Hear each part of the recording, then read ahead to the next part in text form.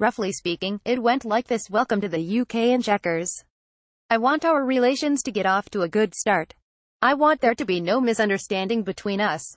I hate communism. It brings neither freedom, justice nor prosperity to the people. But if you Russians must have it, you are entitled to have it secure within your own borders. From that frank moment Mr. Gorbachev seemed to recognize that Russia, whether communist or not, was secure. The West did not covet an acre of its vast empire. That, of course, ignored the formerly independent countries of Central and Eastern Europe but Mrs. Thatcher had already proved her commitment to self-determination over the Falklands. Their future was in their hands. All this is why I believe that today we need a frank face-to-face -face meeting between Donald Trump and Vladimir Putin to convince the Russian dictator that the West is content to live and let live, while deploring the annexation of the Crimea. I suggest Trump rather than Theresa May who, though she may be no Thatcher, has earned a reputation for integrity. Trump is no Thatcher, either. But he generally has the right ideas, if precious little control over his tongue and his tweets. Relations between the West and Russia are now so dire, as our Defense Secretary, Gavin Williamson has confirmed with his list of Kremlin military probings, that they require heart-to-heart -heart between the two leaders.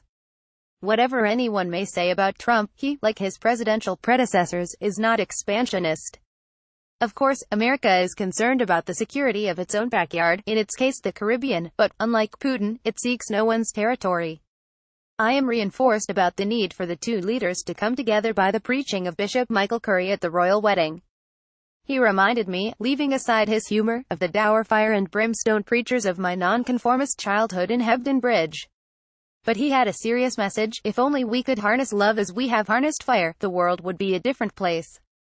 I don't expect Trump to smother Putin with the love of his fellow man. After the Skripals poisoning in Salisbury, we are entitled to doubt whether that would move Putin one inch. But, after repeating Mrs. Thatcher's assurance about the security of Russia's borders, he could appeal to Putin's common sense. No one wins a nuclear war. So, he might say, let's talk about the mutual advantage of learning to live together without the horrendous cost of maintaining huge defensive forces. After all, the capitalist system can deliver the wherewithal better than yours.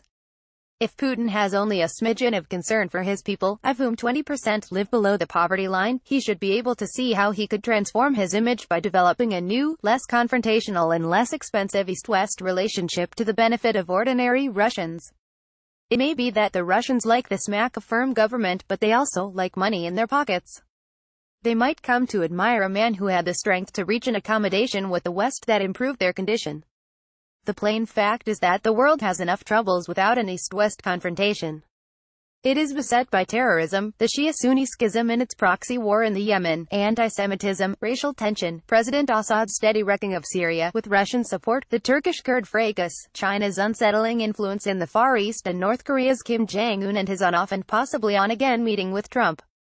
This is not to mention Putin's fifth column in Britain, the Marxist doctrine of Jeremy Corbyn and his gang. But Corbyn is already something of a busted flush. People don't vote for poverty. Nor do they vote to lose their national identity as Euro-federalists require.